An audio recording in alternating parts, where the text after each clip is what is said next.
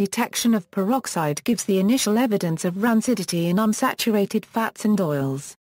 Other methods are available, but peroxide value is the most widely used. It gives a measure of the extent to which an oil sample has undergone primary oxidation. Extent of secondary oxidation may be determined from p-anisidine test.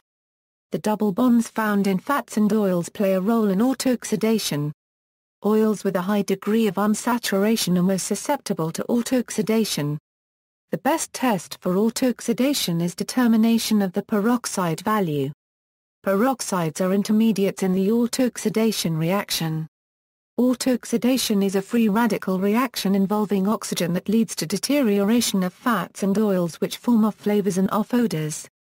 Peroxide value, concentration of peroxide in an oil or fat, is useful for assessing the extent to which spoilage has advanced. Definition The peroxide value is defined as the amount of peroxide oxygen per 1 kg of fat or oil.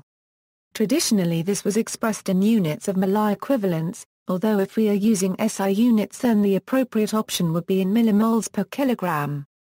Note also that the unit of Mol equivalent has been commonly abbreviated as MEquiv or even as MEC. Method The peroxide value is determined by measuring the amount of iodine which is formed by the reaction of peroxides with iodide ion.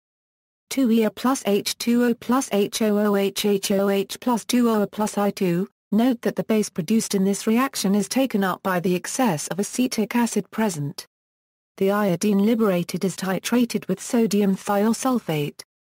2S2032A plus I2S4062A plus 2E. The acidic conditions prevents formation of hypoiodite, which would interfere with the reaction.